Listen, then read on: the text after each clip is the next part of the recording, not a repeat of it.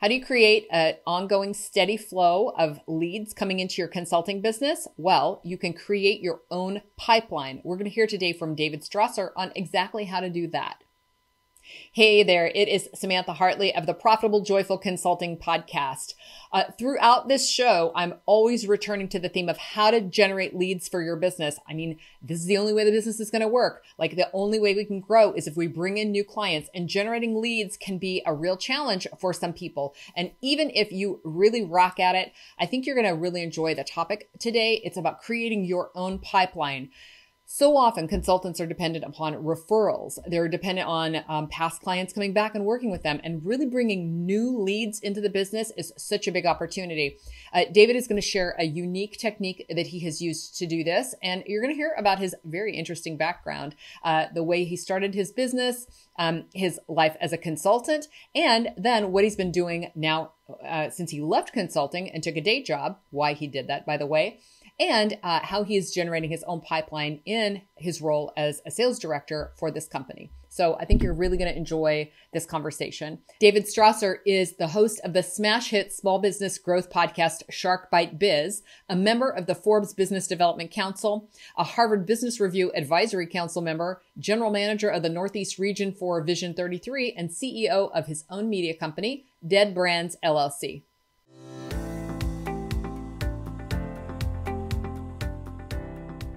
David Strausser, welcome to the Profitable Joyful Consulting Podcast. Hey, Samantha, thank you so much for allowing me to come onto your show. We have plenty in common, and I really just can't wait to discuss with you and your viewers all the awesome stuff that I think both of us are doing. Yes. Uh, the, one of the big things that we have in common is um, what we have video podcasts, but uh, a commitment to business growth. And I loved learning this about you and hearing about this on your show. Uh, the way that you focus on business growth and um, not just in uh, your professional work, but also on the Shark Bite. Yeah, Biz, Shark Bite Biz. Shark yes. Bite Biz uh, podcast. Yep. Um, so uh, would we start can we kind of dial back to the beginning and um, start with something that you and i also have in common which is that you began your career your professional career in a foreign country yeah, yeah. So it was kind of kind of crazy. I'm originally from rural Pennsylvania, and I ended up uh, just getting tired of it. and you know, it's one of those places, especially back then, where you have ideas. It's like, no, you can't do that. No, that's done. You know, I just got tired of having ideas and everybody around me saying no. So it's like I want to get out of here. I ended up then it was supposed to be London, but what happened was my buddy watched this movie called Born in East LA uh, that stars Cheech Marin. So instead of London, we ended up moving to Tijuana over that movie. And it's two months after September 11th. And I did live in a rougher neighborhood for most of my time living in Tijuana, which many would consider, you know, like a ghetto, a literal, yeah. literal Tijuana ghetto where it's dirt roads, outhouses, um, some of the poorest, the poorest people that you can imagine. You know, it was pretty, pretty humbling experience, you know, living really, I think for that amount of time in that, you know, that part of the world and just seeing things through a different lens. Yeah, it does. It does. And so you began a business while you were there. Yeah, it was really around 2000s, you know, eight ish, something like that where you know it was really really hard to find yeah. a job you know the the economy was in wreck um you know i'm technically a millennial but i i categorize myself as a zennial mm-hmm. mm-hmm. because you know being at that age i mean yeah. a lot of people like me they already had families and were in the workforce for many years when the economy collapsed mm-hmm. and that's where it, it, was very rough. I wasn't able to find work. It, mm-hmm. was, you know, some of the downright hardest times of my life. Uh, what I was able to find though, and this was, I don't know, just kind of out of necessity, was I was able to discover, well, I'm fluent in Spanish. I know mm-hmm. a lot of people in Mexico. Um, why don't I try like bringing American products down into Mexico, especially during this time period. I find myself really working mostly with tech companies and uh, eventually found myself working in technology, like tourist te- uh, technology. Oh, wow. As far as the border cameras, stuff like that. Now, when I say border cameras, don't think I'm talking about like cameras looking for people crossing the border, like jumping a fence or something like that. I'm talking about the lines because you never know how long the line is to get into the United States. Okay, it could be 30 minutes, it could be six hours long. Mhm. So, what we did was, um, you know, we set up cameras there focused on key points of the border that daily border travelers like myself would kind of know by looking at these small, quick video clips. Okay, this is where the line is. Okay, and based Mhm. upon that, this is the speed. Okay, I'm going to need two hours to get across the border today. And, you know, it's a pretty cool, successful service because, I mean, they do cross hundreds Yeah. of thousands of people through Tijuana to San Diego every single day. Yeah. Yeah. So what I hear in this just essentially is uh, kind of scrappiness and um, that generally like entrepreneurial spirit of like, uh, I don't have something going on. I need to have something going on. And that's where a lot of us will get our hustle from is like, Mhm. you, you have the fire when you, when you need it. Um, but it's I like, really had to hustle. It was gritty. It was very gritty. It was hard. real, It, it was uh, fighting tooth and nail just to make a living. And, you know, it's also the point where I decided that maybe it's a good time to study as well, too.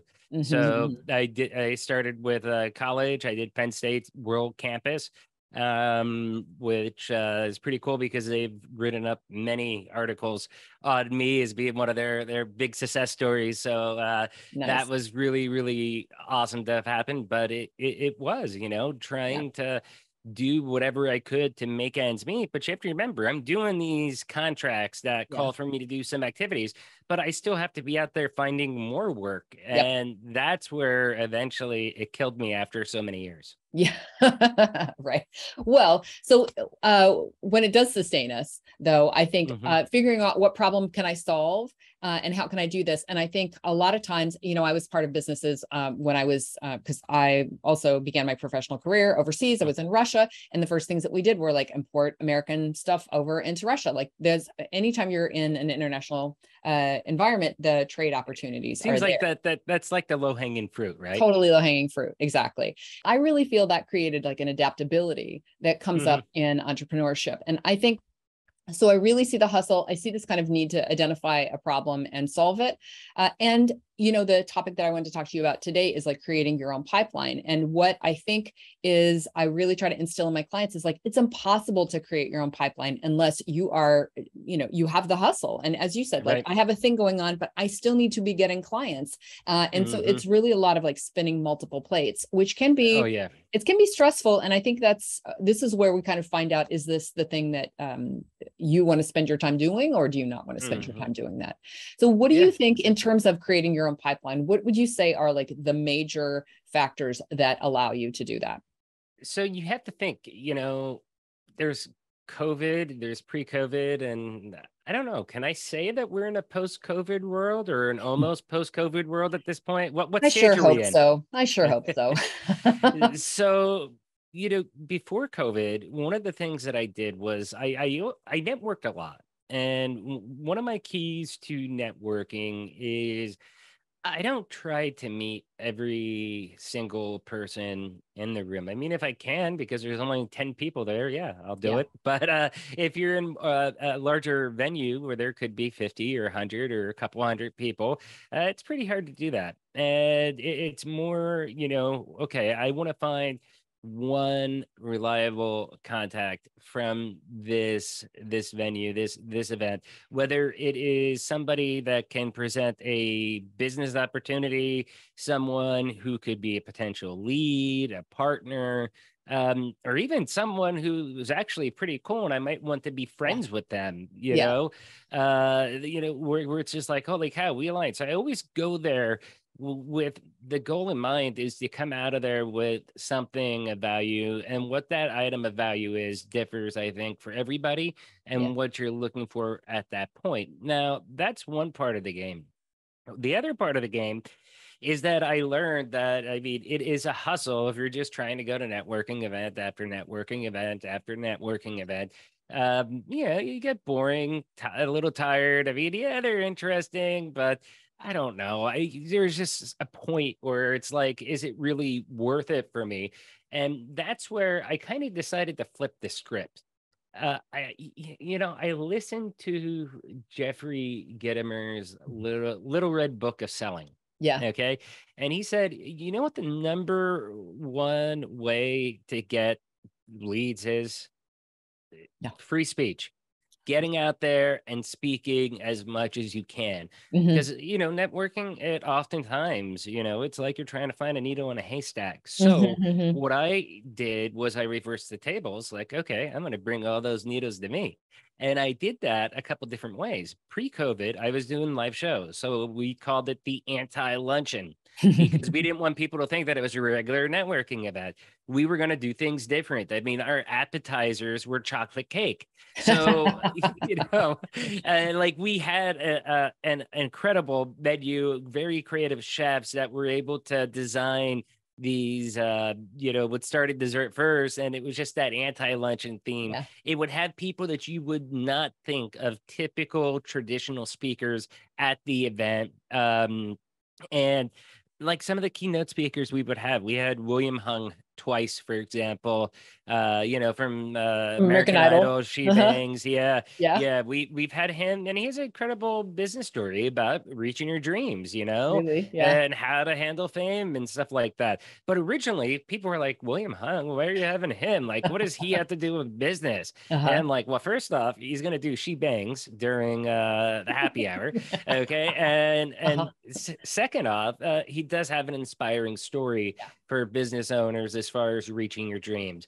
So there, there's that. And then the other one that we did was with uh, the Verve Pipe with Brian Vander Ark, uh, who sings the the world famous song, formerly number one hit, uh, Yeah. The Freshman, you know, Uh-huh. and his his story about just the ups and downs, but fighting through it so that you can continue. So we we we basically did a networking event, the ones that I was burnt out of doing, yeah. but we would fill the room with 100 to 150 different executives usually executives small business owners um you know there was a lot of people that may have been one or two person shops like a small insurance agency or a small financial services company and we would pack that luncheon with the anti-luncheon phenomenon so i tried to Yeah.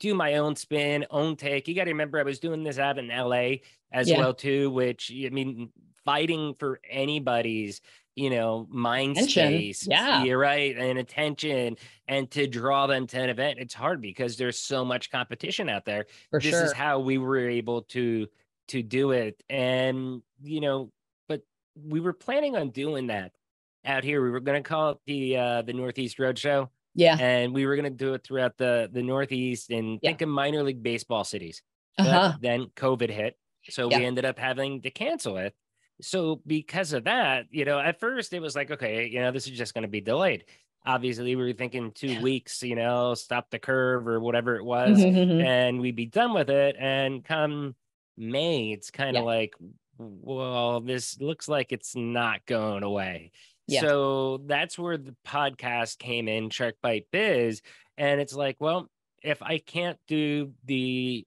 live events then i'm going to do the next best thing of networking with people by doing the podcast itself hmm hmm So I really love that. Can you uh, uh, delve a little more deeply into how you actually got people into the room in LA? Is this like email campaigns, or are you, um, Okay. you know, contacting people you've you've talked to before? Because I do yeah think yeah uh, I think uh, people do um, events, and I think we're going to begin to do more events. And it is difficult, or it can be difficult to get people in the room. So especially in LA, as you said.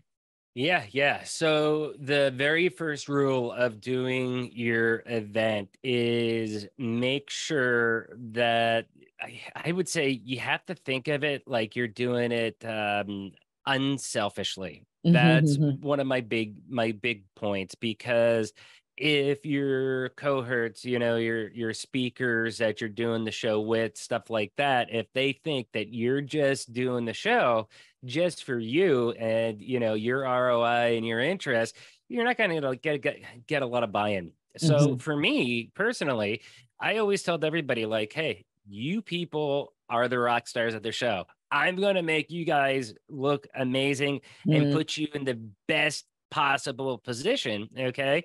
Yeah. Because then ultimately it reflects upon me, you know, mm-hmm. and yeah. it boosts me up. It's, you know, what goes around comes around. Right. So that's the message I sent to the speakers, to the sponsors, stuff like that.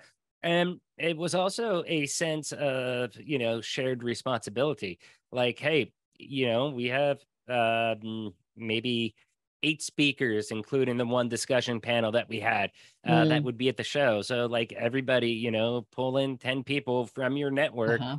Everybody has at least 10 people in their network that can come, you know, and then also partnering with somebody like we use the City Club in Los Angeles, which mm-hmm. I absolutely loved. Okay.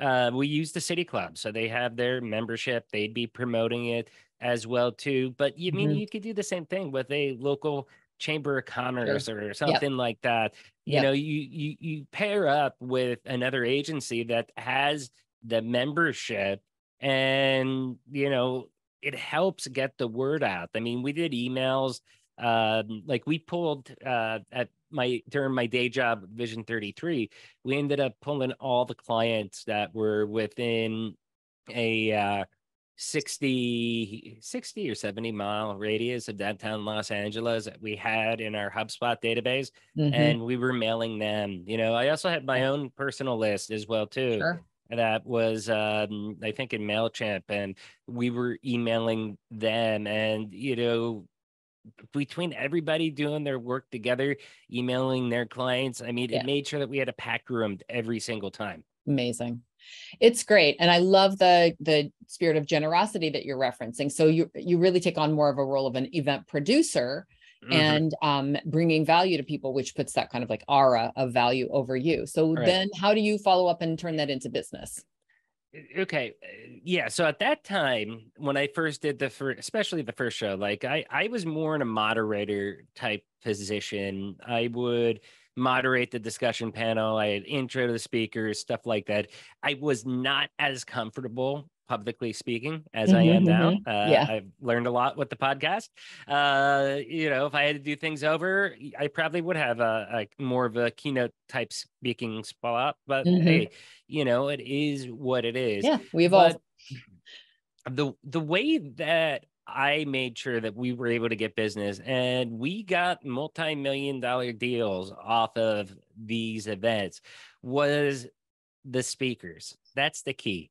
Okay. If you're putting on an event where you're looking for the ROI, okay. Mm-hmm. And again, this is how am I going to make sure the speakers get their ROI too? Yeah. I got I've got to look at it from their point of view. Yeah. It's the synergy of making sure that everybody complements each other, mm-hmm. that you're on topic, that you have a core theme for the event. Mm-hmm. And that way, then you're targeting that type of audience. Like, for mm-hmm. example, we had one that was uh, manufacturing or not manufacturing, sorry, it was uh, distribution. Mm-hmm. About uh, distributing because there's a lot of distributors that are based out of LA. Yeah. Uh, you know, because they, maybe they manufacture in China and in LA or Orange County. That's where they have their distribution offices. Mm-hmm. So, you know, we made sure that we had a theme for the event and then the speakers lined up with that theme. So that way, like, for example, a good buddy of mine, James Shea, He's the CEO and uh, founder of a marketing firm called uh, Cybertegic he ended up bringing one of his customers because he does a lot of mm-hmm. e-commerce yeah. and he brought one of his customers that makes and moves products from china they sell throughout the us just so happens like since he's their marketing partner he they actually he was doing so so good their technical systems could not handle the quantity wow. of orders that they were getting yeah. And he was like, no, no, no, no. I don't want to lose money. We need to get you a new system. And he brought him to the event. And six weeks later, you know, that that was a multi-million dollar deal right yeah. there. It was that large of an opportunity. But it's mm-hmm. because of that synergy yeah. and having that core theme and everybody working towards the same goal mm-hmm, that mm-hmm. we were able to pull together. Yeah, I love that. And it really illustrates the what I think is the beauty and the opportunity in networking, which is it's not who you know and it's not mm-hmm. necessarily mm-hmm. who they know. It can be like the, those outer layers of who they know. Right. Um, and again, I think this is, you know, what I always say in um, in networking is to kind of look for that spark. Uh, and you're going to find your people you're going to find your opportunity and i mm-hmm. i think coming to it with that kind of generosity and like open-mindedness uh, is is how that kind of thing can happen so it's oh, um, yeah Definitely. You know, your I person, think... your collaborator trusts you to bring mm-hmm. their big client to that event. Like that's that kind of thing is important. If you go into it, you know, with your ego or thinking like, hey, you know, yeah. I'm the one that's gonna bring home the bank, you know, the people that are involved with the event, they're obviously business professionals. They're they probably aren't that dumb, you know, they're probably somewhat smarter. They wouldn't be speaking at your event. They're gonna yeah. stiff that up pretty quick. Yeah. So it's transparency. Like, hey, we all want to earn business. We all want to do it together. It's a collaborative effort. And you know, pull your weight. You know, everybody had their codes. We were tracking it, and me mm-hmm. leading the charge was pushing this. So it, it, ended up being, you know, pretty awesome. We did do three events uh, because, you know, they were spread over about uh, 18. Uh, it was like one every six months up mm-hmm. until I moved to Philly. Right. So it it was pretty pretty successful and kind of bummed that it never took off out here because of COVID. But yeah. then again, you know, I ended up starting the podcast, and I would say doing the podcast actually ended up being maybe even way better because I've met so many awesome people doing the podcast mm-hmm. and I've met them intimately, like yeah. you and me, like how we're talking right now. Yeah. You know more about me than uh, in this interview than you probably would have ever if we just met at a networking event. Right exactly exactly and you get to spend that kind of quality time together. I i love that idea.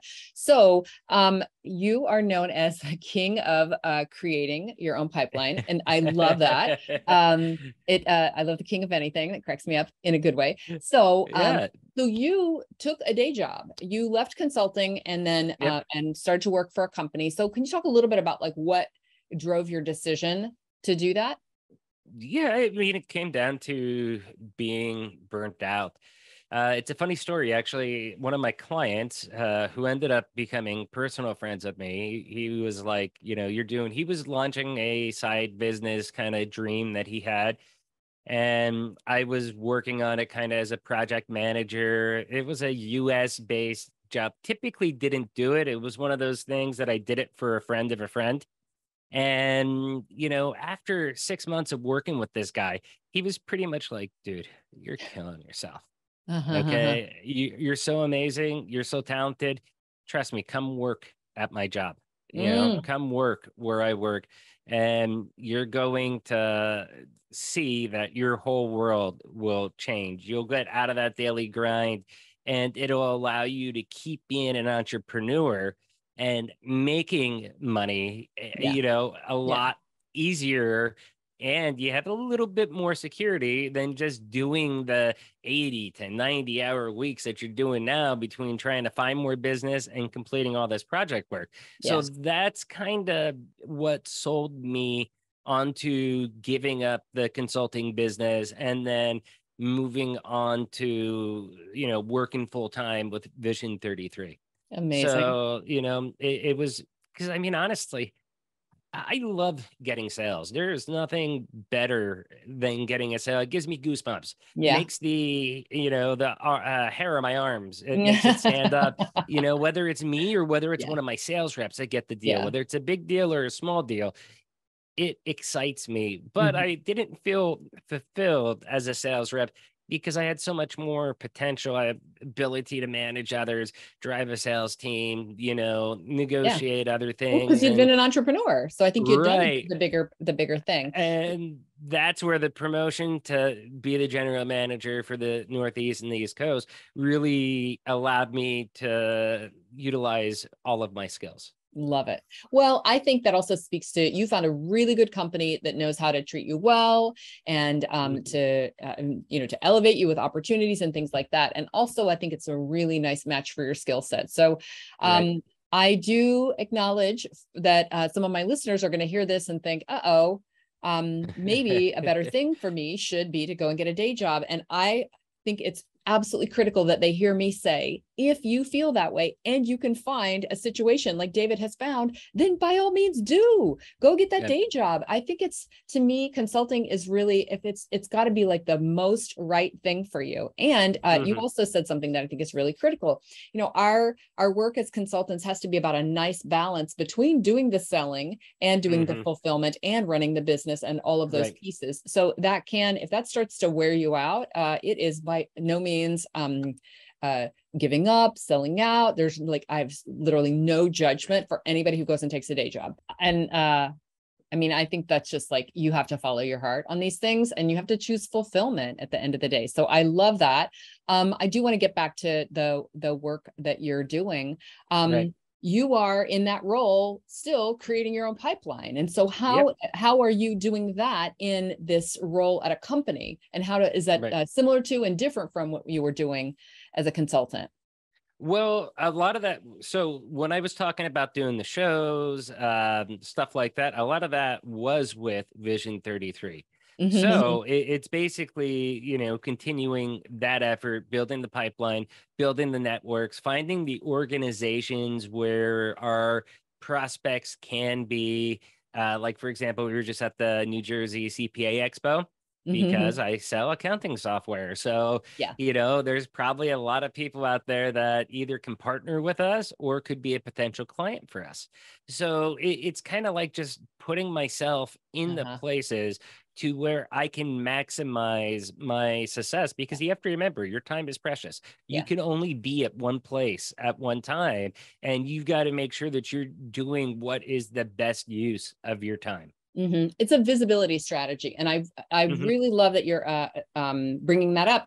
It's like we can't be here; we have to go where they are. And people who listen to the show know I'm bringing this up constantly. You have to go where your audience are. Uh, we can't always expect them to track us down. So, a thing I wanted to talk about that I really love that you are doing um, as an employee of a company is you have a really powerful personal brand that you have built right. and are continuing to build. And so, I also want to say this because I know if anybody does for example, decide that they want to take a day job, mm-hmm. never let go of your personal brand and building no. that. So, can you talk a little bit about um, how you've built it and how you kind of negotiated that, or did you need to negotiate yeah, yeah. that with your employer? Uh, it's a little bit of a struggle. They have nobody, for example, that does podcast interviews except for me. Well, they have we we have Carl Lewis. He mm-hmm. does mm-hmm. uh, another podcast, uh, the official Vision Thirty Three podcast. Um, so you know he does one every now and then, but mostly, I mean, it's me out there being the face of it, and you know, it just came down to don't do anything controversial yeah. and I should yeah. be okay. And so far, I've kept myself clean and I have not got canceled. So I've been okay. But I mean, building my personal brand, whether it's my domain of davidstrausser.com or mm-hmm. whether it's my professional image and stuff like that. Like that is one thing that I will never give up. And if I was to ask or to be forced about giving it up, mm-hmm. that's where I, I wouldn't be yeah. with the company yeah. that I am today because they have to think about it this way too. I mean, uh, it's a win-win for them the bigger that I boost my own brand, my own name, you know, they're following behind in the in my coattails in those instances. Mm-hmm. Sometimes it's reverse. You're with mm-hmm. a big company and you're riding the coattails off off of your company. Mm-hmm. Um, you know, so it, it all depends on what the situation is, but it's usually a win-win for both parties as yeah. long as you're doing something that is positive, mm-hmm. not negative right reflecting and on even when it's negative sometimes it could be a positive you know you've we've all heard the cliche that you know no press is bad press so it, it really just depends what it is. Mm-hmm. what what gets that attention uh, and there is the portability of that brand should you one day decide to go somewhere else and i think every good uh, business knows that and knows mm-hmm. uh, so that's why i think there is the risk of having a prominent employee because i've seen mm-hmm. this a mm-hmm. lot on linkedin where you have somebody who builds a prominent brand as part of a different company and then they leave that company and go somewhere else but listen that uh, that personal brand is the asset that you own mm-hmm. so um, it, it's you know invest in it own. yeah invest in it absolutely and you know the company has got to be willing to take the to the risk you know if they're good to you if they're treating you well, guess what? You're probably not going to leave, mm-hmm. no matter how your your brand, you know, big your brand gets, unless Spotify offers you a hundred million dollar exclusive deal, you're probably going to stick around with them. And now we know your price, David. yeah, hundred million. That's the price tag I have. All right, I heard that Spotify. Well, cool. I would love to transition to talking about your podcast because you also do a video podcast and you yes. uh, you do that on YouTube. So, uh, and then uh, uh another thing we have in common is that we are these are um, pandemic babies. So you also started your podcast during the pandemic with all that um, that good uh, at home time. So, yeah. what was uh, how'd you come up with the name, and what's kind of like the theme and focus of it? So I came up with Shark Bite Biz. Believe it or not, it was all the way back in 2015. And it took me five years to actually launch the podcast. I always wanted to do the podcast. I had the equipment for the podcast, uh, but I decided again when we just talked about better yeah. use of your time. I felt that uh, you know podcasting wasn't there yet, mm-hmm. and mm-hmm. that it was better used in live events. So that's where I went the live event networking type type route and put my energy and focus there. Mm-hmm. So, you know, COVID happens. I launched the podcast. and the name, you know, a lot of people think it's, you know, like Shark Tank, but it mm-hmm. has nothing to do with uh, Shark Tank. Not trying to write off that at all. But when I think of business, you know, especially sales reps or business owners that are in the hustle. They're in the grit of just trying to to succeed. You know, I, I view those mm-hmm. people as sharks, you know, yeah. yeah. and it's kind of like bite first or get bitten. And that's kind of the attitude that I took with the podcast, with the podcast name. Mm-hmm. And that's what the show's about. It's got yeah. three fundamental factors with the show, which is we talk about personal growth. A mm-hmm. lot of people that come on the show uh that do career transformations you know it's like they did this for 20 years and then like yeah i don't like this anymore mm-hmm. you know one mm-hmm. was a, a, funeral director that ended up being a health and fitness coach wow um, yeah so like there's pretty crazy stuff. Yeah. You know, all that death gives you a, all that death gives you a new perspective on life. Yeah. Right, right, right. Uh, you know, there's there's a lot of career transformation, personal growth type stuff that comes out of it. Then there's the the professional growth as far mm-hmm. as maturing as a you know a lot of people that listen to the show i think they're young executives they're kind of independent consultants um, by young executive i don't mean necessarily age wise mm-hmm. um, i mean more younger in their careers of being an executive or manager and they're looking for more and more professional advice from some of the top CEOs out there that may or may not be in their industry. So we focus around professional growth. And then lastly, we focus around business growth. Mm-hmm. Um, you know, because everybody at the end of the day, if you're listening to my show, you're going to want to grow your business, no matter if it's your own business or whether you're a manager of a business or just a sales rep at a, at a business. You're trying to figure out how to grow. And they're the three things all yeah. three have in common growth. So mm-hmm. to sum the show up, it's a show that's about growth. Love it. Love it as you know. Um, and so over, what have you learned over, it's your over uh, 160, almost 170 episodes. What have you learned over that time about growth? Oh, I've learned so much about growth.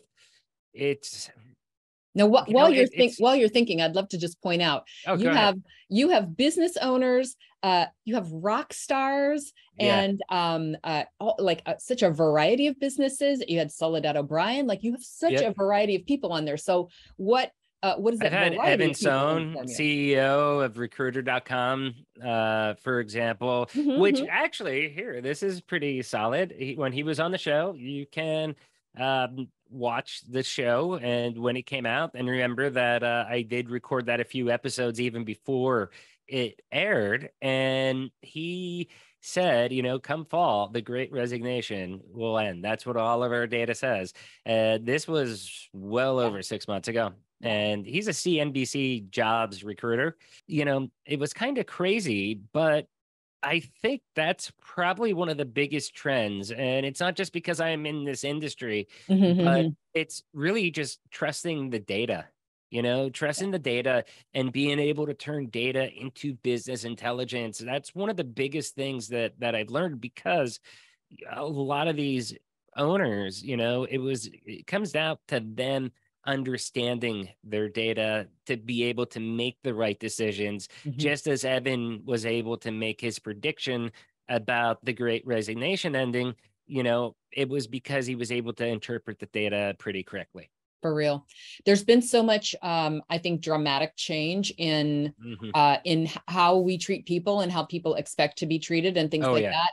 And um, uh, as that kind of arched over the the two years that you and I've been recording, um, what other kind of themes do you see emerging from there?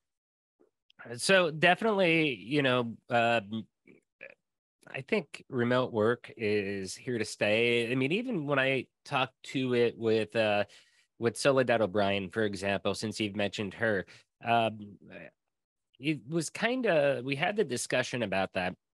And for working professionals, if you're being hired by a company as a business professional, whether you're an accountant, whether you're a sales rep, whether you're, you know, doing whatever for them, okay, uh, unless you physically have to be on site doing certain things, if it's work that you're able to complete from your home office, Yeah. you know, really, it's not going to be a nine to five job anymore Mhm. that that those days are slowly dwindling oh yeah got tongue twisted there dwindling Mhm. away that um you know it's going to become much more task orientated i think that's the biggest trend that i've seen that's Mhm, one of the mhm. big things that that a lot of people keep talking about like Yeah.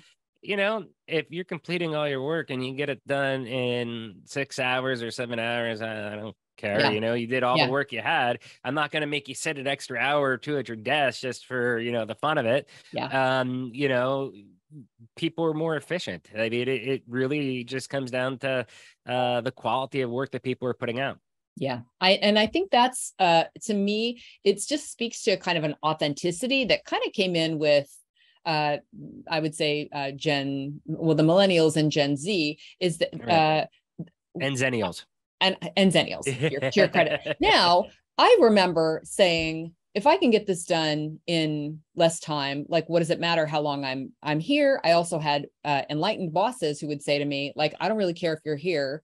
Uh, if you as long as you get the work done, we don't care. And I think Right. having that uh, idea spread, it just seems more like authentic and real and sensible. Um, and so I really cheer that, but I do feel that kind of old guard resisting um, and Yeah. wondering where does that end. And so I'm I'm really curious to see. It all Uh, depends on, on the battle? company. I, Yeah, yeah, I mean, exactly. it's battling out right now in front of our eyes with big Mhm. tech. Um, a lot of, I know a lot of small businesses, especially some that are our customers, that they've gone completely remote. They're like, oh, we're just going to get a virtual office. Why are we Yeah. spending so much for an office building? Everybody can work remote. This works fine. And that's all that they do for their office employees. Makes so yeah, I mean, look, there's certain work that you have to do between nine and 5 Mhm. Okay. Mhm. Like there, there are some things that have to be done Yeah. between nine and five. Between nine and five, prioritize those, get those items done. Okay. Right, right, right. It's, you know, this is crazy talk to some people and to others, it's like, Yep. this is how I've been working for the last 20 years. So Yeah, I know. Um, this is how I've been working for the last, you know, except for my younger days having to work in some retail, but for the Yeah. most part, since maybe 2000, I think 2007 ish, around there, uh, I started uh, with a company called System Circulation Partners, that was the start of my work from home, Wow. you know, independent consultant type career. And, you know, since then, I've kind of always known that I didn't want to be in an office. Sure. Like even Yeah. with my current company, 1st Mhm. three months I had to go while I was onboarding. Okay. yeah, After right. that, and they trusted me, it was like once a week, you know. And then after, you know, he turned into their top sales rep, it's like, yeah, show up when when you need to, you know. uh, and Exactly. that turned into barely ever. But I mean, Yeah. that's what their mentality is because again, task oriented. I mean, I've done sales demos while on layovers in Colombia. Okay. Right. So, you know, while I'm on vacation, uh, I have a lot of stories like that because I come from the mentality sales never sleep. Doesn't matter if I'm on vacation. That's people going above and beyond. And if you're able to do that, that's where I think you deserve, you own the right to have that flexibility if you're willing to do that. And yeah. if your company doesn't allow you to, then maybe that's not the right fit for you. For real. For real. Uh, it's a great story of dedication. Oh, uh, yeah. Where can our listeners go and learn more about you? Oh, so multiple places. Okay. Uh, the easiest place is you can go to uh, sharkbitebiz.com. Uh, that is where you can find out all the links for the show, stuff like that, or just uh, search for Shark Biz on YouTube. That's probably the easiest to see all the episodes. You can find out about me personally at davidstrausser.com. And then lastly, um, I would say that you can uh, go to, if you're interested in ERP, accounting software, stuff like that, you would go to vision33.com um, or reach out to me at david.strausser at vision33.com and uh, we'll make sure that we'll take good care of you. Perfect. All of that will be in the show notes in case you didn't get a chance awesome. to write that down. Uh, David, it has been such a pleasure to talk with you, and I really appreciate the um, the perspective that you bring on building your own pipeline and how mm-hmm. you model uh, your dedication to the craft of sales and um, the yeah. art of sales, which I also am such a big fan of. So, thank you so much for being with awesome. us. And I'm to our very listeners, grateful for being on. Thank, thank you. you. And to our listeners, I want to wish you a profitable and joyful consulting company. Thanks for watching. I'd appreciate if you'd like this episode, and if you enjoyed the show, why not subscribe? Be sure to click the bell to get notified when new episodes drop.